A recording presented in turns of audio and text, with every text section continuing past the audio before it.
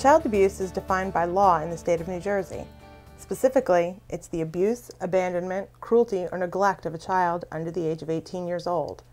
Child abuse can be broken into four categories physical abuse, sexual abuse, neglect, and emotional abuse.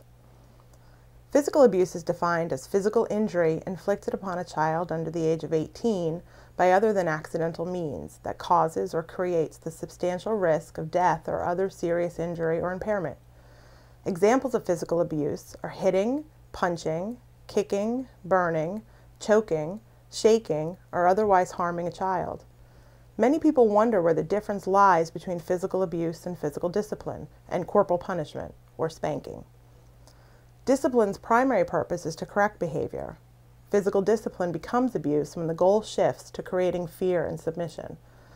Other key differences between physical discipline and abuse include the severity and frequency of the punishment, the unpredictability of the actions, and a lack of self-control exhibited by the disciplinarian. There are signs that are commonly seen in cases of physical abuse, such as unexplained injuries, burns, especially cigarette burns or immersion burns, broken bones and fractures, the injury location, such as injuries in areas that are hidden from view like the back or back of the legs, or areas that are less common to see standard childhood injury. The shape and pattern of the injuries, which could indicate the use of a tool or implement, such as a belt, hanger, or wire. You might even be able to make out handprints or finger marks. The severity of the injuries, the frequency of the injuries, and injuries in various stages of healing. Sexual abuse is defined as sexual contact or penetration of a child under the age of 18, or the sexual exploitation of a child under the age of 18. Sexual abuse does not have to include a touching offense or physical contact. Examples of sexual abuse include fondling, penetration, oral sex, sodomy, indecent exposure, production of or exposure to pornographic materials, trafficking, and prostitution.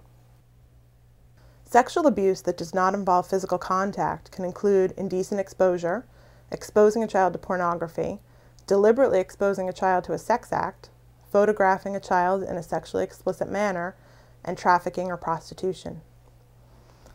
Sexual abuse can be difficult to identify due to the lack of physical signs, typically present in other types of abuse. Some physical signs that can be seen in cases of sexual abuse include injuries to the genital or anal areas, a child who shows difficulty or discomfort when walking or sitting, the presence of a sexually transmitted disease, pregnancy, age-inappropriate knowledge of sexual terminology or behavior, and inappropriate acting out sexually with other children that goes beyond normal development and curiosity. Neglect, the most common form of child abuse, is defined as a failure to provide for a child's basic physical, mental, and or emotional needs.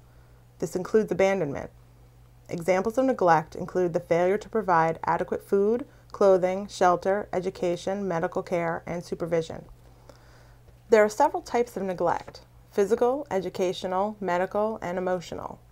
When identifying neglect, signs can include constant hunger and stealing food, a consistent lack of supervision, being left alone for excessive periods of time inappropriate for a child's age, developmental level, and abilities, a lack of medical care or untreated injuries or illness, erratic school attendance or unexplained absences, severe physical and developmental delays, issues with hygiene and appropriate clothing, especially seasonally, placing a child in a situation that will cause harm or injury.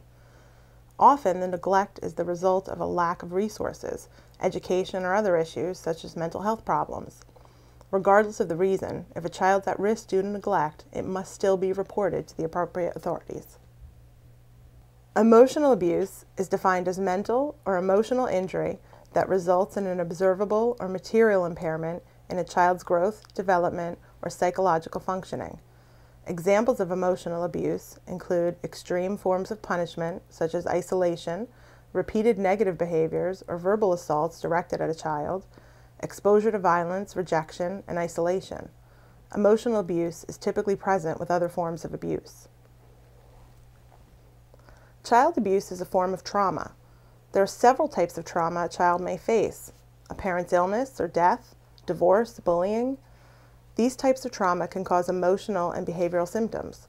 As another form of trauma, child abuse can also lead to similar emotional and behavioral difficulties. When identifying child abuse, it's important to not only look at physical signs, but also pay attention to these emotional and behavioral indicators to form a complete picture of what may be happening to a child.